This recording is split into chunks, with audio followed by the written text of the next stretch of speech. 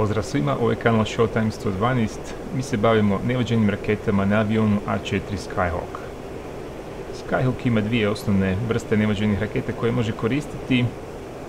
Za njihovo ciljanje nema nikakav kompjuter koji izračunava nekakvu točku udara ili ništa tome slično, već e, kao i na F5 moramo odabrati neki točno određeni profil napada i zatim sukladno tom profilu podesiti ciljnik ručno, to jest spustiti ga za određenu vrijednost u miliradijanima, takozvana depresija.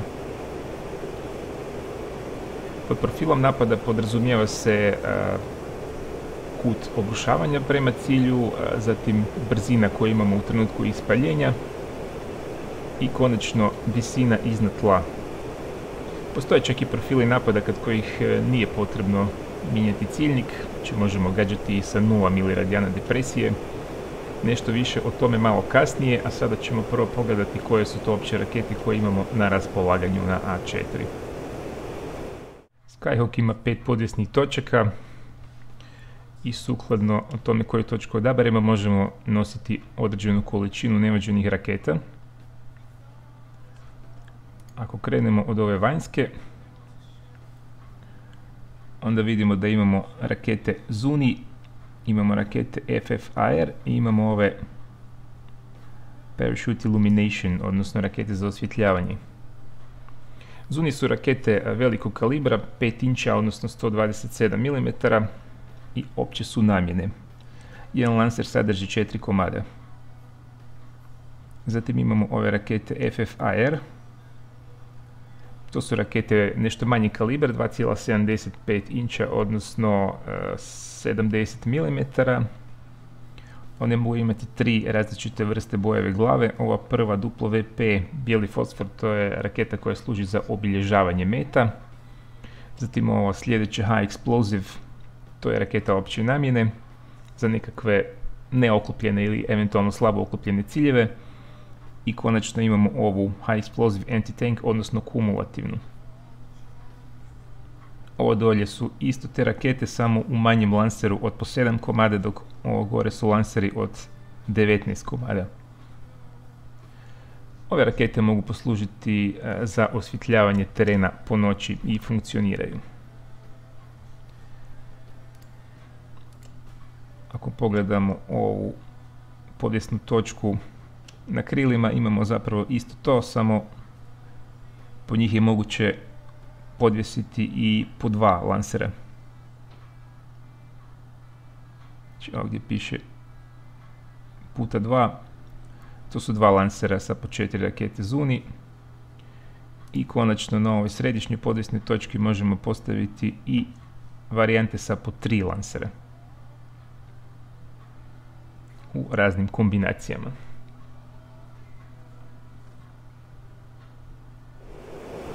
Spominjali smo da postoji profil napada kod kojeg čak i nije potrebno podešavati ciljnik i sada ćemo pokazati jedan od takvih profila.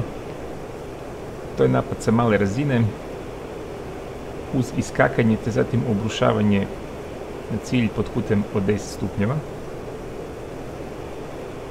Naša brzina prilikom ispaljenja bit će oko 450 čvorova, visina iznad tla bit će na 1000 stopa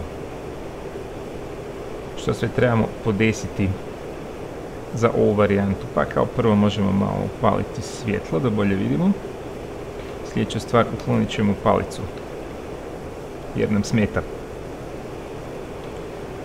Zatim imamo sljedeće postavke. Kao prvo uvijek kad koristimo neko naoružanje ovaj master stavimo na on. Bez toga ništa neće djelovati. Ovaj prekidač stavimo na položaj rockets. Zatim ćemo odabrati četiri podvjesne točke ispod krila jer se na njima rakete nalaze. Srednja je prazna. Ovo možemo staviti na arm, nose i tail. Iako mislim da čak i nema efekta. I sada imamo ovaj panel ovdje. Postoji step i postoji ripple. Ripple je osnovi mod kod kojeg kad držimo okidač stisnut, nastavlja se ispaljenje raketa, odnosno ispuštanje bombi, sve dok se ne ispuni neka određena vrijednost koja je definirana ovim odnosno količina koja je definirana ovim prekidačem. Step je varijanta u kojem kad stisnemo okidač, onda se ispali ili jedna raketa ili dvije ili više njih. E, za svako sljedeće opaljenje moramo otpustiti okidač i ponovo ga stisnuti. Ovo ovdje je prekidač koji bira razmak u ovom Ripple modu, razmak između pojedinih opaljenja. Mi ćemo koristiti ovaj Ripple salvo.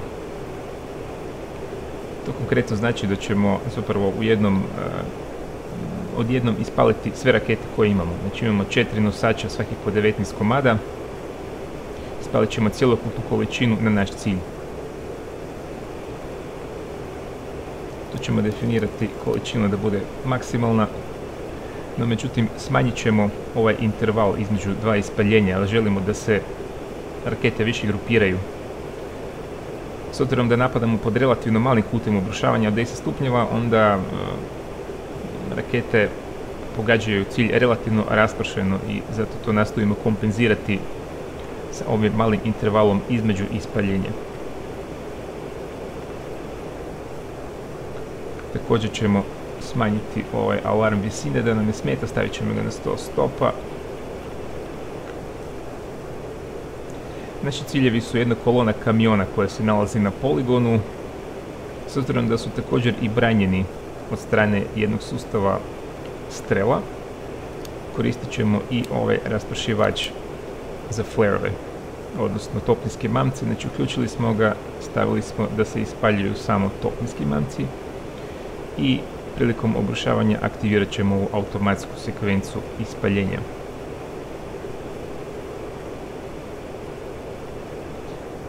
Naši ciljevi nalaze se ovdje negdje, znači kad im se približimo letit ćemo na visini od nekakvih 200 do 300 stopa, zatim ćemo se podići u zrak pod kutem od 30 stupnjeva dok ne dođemo na oko 2000 stopa, zatim prevaćemo avion tako da gledamo prema zemlji, e, obušavamo se prema cilju, ravnamo avion i ispaljujemo ga sukladno ovim parametrima koje smo naveli. Znači 1000 stopa, 10 stupnjeva i 450 čvorova.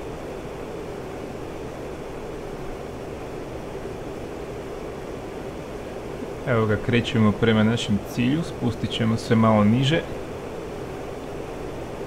puni potisak da dostignemo potrebnu brzinu od 450 čvorova.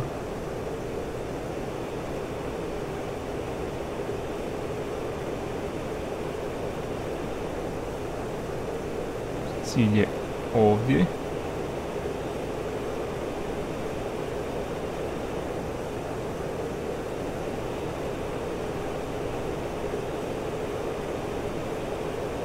Brzina je dobra visina je dobra, uskoro slijedi iskakanje. Evo ga. Dižemo se. Čekamo na 2000 stopa. Ok, rotiramo avion.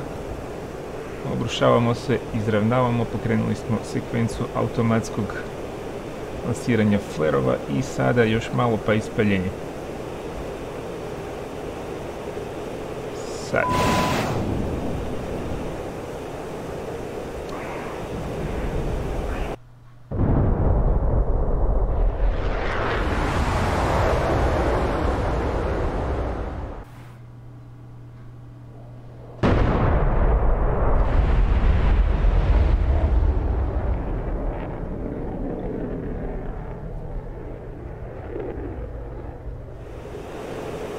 Izgleda da smo pogodili 3 od 4 cilja, što je prilično dobro. Sustav strela nije stigao ani reagirati. I to je bio u osnovi uspješan napad. Profil napada koji ćemo sada koristiti je malo drugačiji. Napošćemo sa visine od 5000 stopa brzinom 400 čorova i pod kutem obrušavanja od 20 stupnjeva. Ovoga puta koristimo rakete Zuni Imamo četiri lansera, svaki sa po četiri komada. Opet ćemo upaliti svjetlo, pa zatim maknuti ručicu. Master arm opet na on. ovaj selected na rockets. Također biramo ova četiri podvjesna mjesta. Priprema detonatora, ali ovoga puta koristit ćemo mod step salvo. To konkretno znači da ćemo na svaki pritisak okidača ispaliti po jednu raketu iz svakog od ova četiri lansera. I to ćemo ponoviti četiri puta. S obzirom da napadamo pod većim putem, onda grupiranje pogodaka je zapravo puno veće. A s obzirom da nastojimo uništiti četiri cilja jedan iza drugoga, onda ćemo ručno definirati, to jest ručno ćemo pokušati naciljati svakog od njih. U tom slučaju ova dva prekidača nisu nam niti bitna. Ono što sada moramo još je podesiti ciljnik na 18 miliradijana depresije. I opet ovaj raspršivač za toplinske mamce.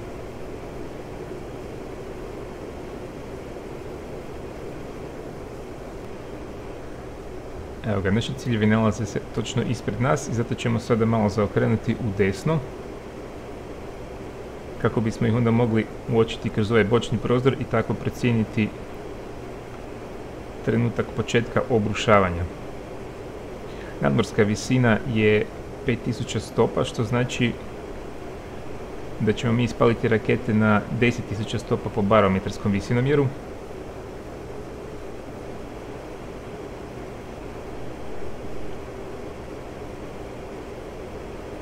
radarski visinomjer funkcionira od 5000 pa na niže, znači kad on počne odbrojavati to je isto jedna mogućnost, jedan orijentir. Znači kad nam se cilj pojavi tu negdje, onda ćemo se Evo ga.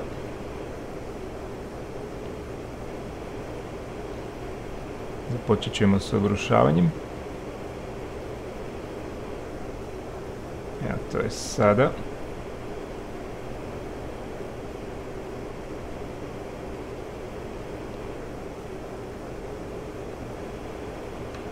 Vidimo kut od 20 stupnjeva, to je dobro.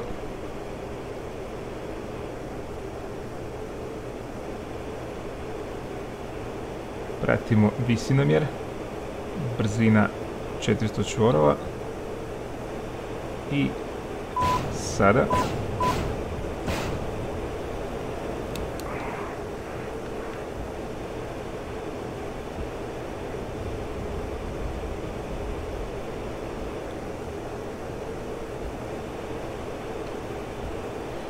Nešto smo pogodili, dobro je. Vraćamo se na veću visinu.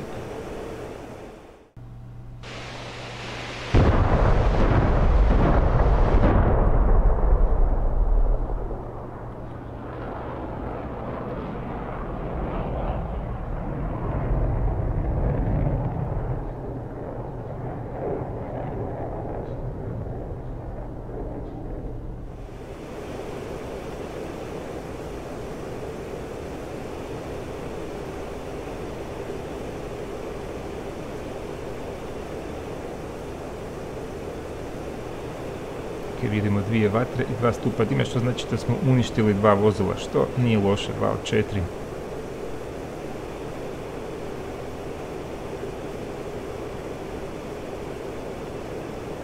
To je bilo to što se tiče gađanja neoženim raketama. Postoje još i neki drugi profili. U opisu videa e, stavit ću i njih, pa možete njih isprobati ako želite, iako mislim da su ova dva su sasvim dovoljna i preporučujem da ih onako zapamtite i koristite. Uglavnom, ako vam se video svidio i ako je bio koristan, znate što treba, kliknite na gumb like, to je vrlo bitno za kanal. Slobodno komentirajte, pretplatite se ako još niste i nastavite pratiti Showtime 112.